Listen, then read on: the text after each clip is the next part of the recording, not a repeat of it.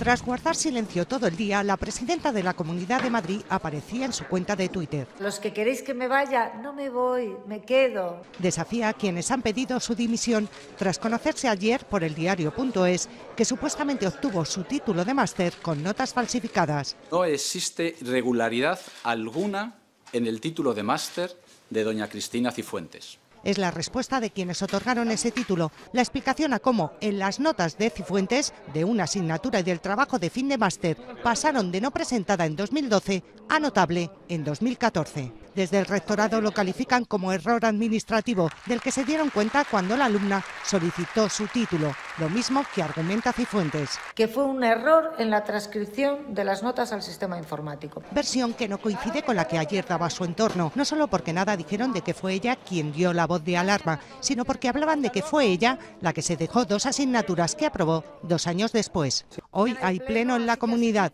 y la presidenta ya ha dicho que de este tema no hablará. Hasta mañana.